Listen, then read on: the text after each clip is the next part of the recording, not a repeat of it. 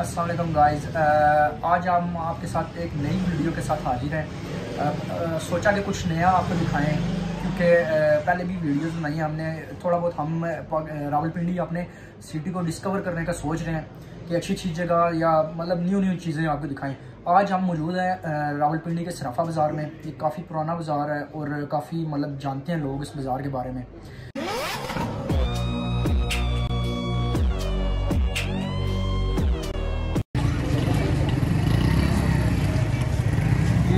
ये लाल हवेली है सब जानते हैं लाल हवेली के बारे में। ये कदीम हवेली है पाकिस्तान बनने से पहले की है लेकिन इस टाइम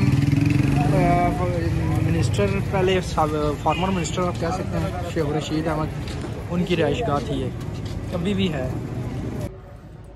अस्सलाम वालेकुम गाइस आज हम लोग आए हुए हैं एक मंदिर में चाँद भाई लेके आए हैं हमें। तो आपको उसके बारे में बताएँगे हम लोग।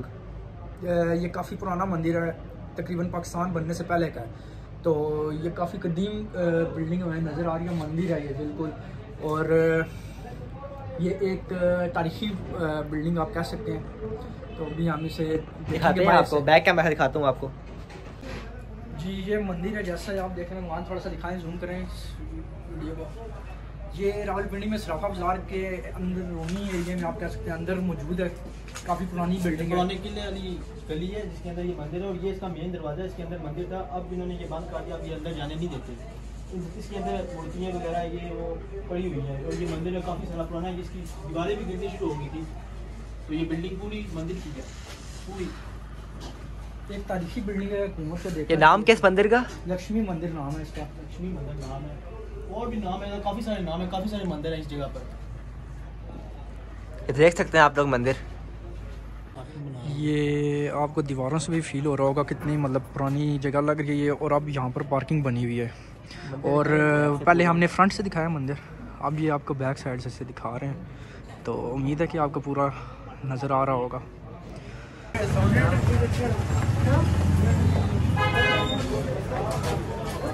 जानते ये किस गली में घूम रहे हैं? ये न्यू चाँद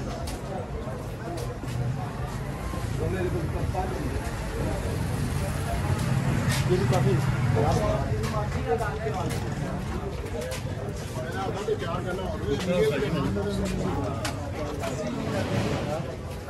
यहाँ पर भी काफ़ी पुरानी बिल्डिंग नज़र आ रही है। ये बिल्डिंग के ऊपर घर भी है इनके, और ये यहाँ पर रिहाइश भी है, ये नीचे दुकानें ऊपर रिहाइश है। काफ़ी सारी पुरानी चीज़ें हैं यहाँ पर, और ये सब पुरानी दुकानें हैं।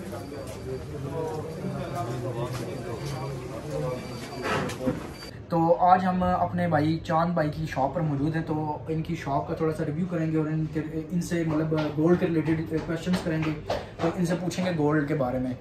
तो अपनी वीडियो आगे नेक्स्ट कंटिन्यू करेंगे। तो गाइस अब चाँद भाई से हम सोने का रेट पूछेंगे और फिर चीज़ें बोलेंगे को दिखाई हमें जो उनके पास पड़ी हैं। तो चाँद भाई क्या रेट है सोने का? जी अस्सलाम वालेकुम। पहले तो आज सोने का रेट है एक लाख चौरासी हज़ार पाँच सौ। और चीज़ें मेरे पास पड़ी हुई है देखिए आप सेट वगैरह है।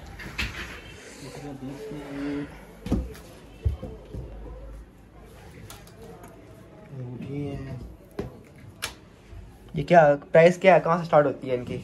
ये आपको अंगूठी जो है ना ये वाली अंगूठी कितने की है? ये वाली जो है।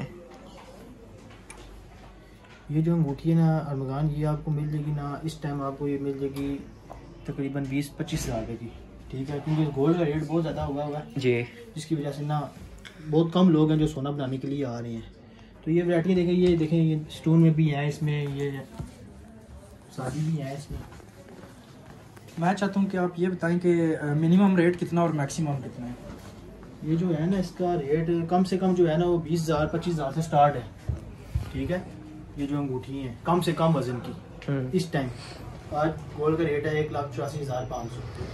तो ये अंगूठियाँ देखें। मतलब उस हिसाब से ये जाता है? फिर जी। इसके अलावा सेट पड़े हैं मेरे पास। ये क्लोज कर देता हूँ।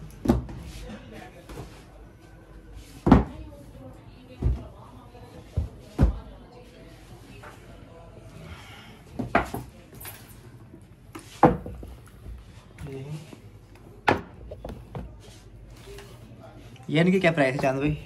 ये तकरीबन डेढ़ तोले के हैं डेढ़ तोले के चार लाख रुपए के हैं। तोले के हैं।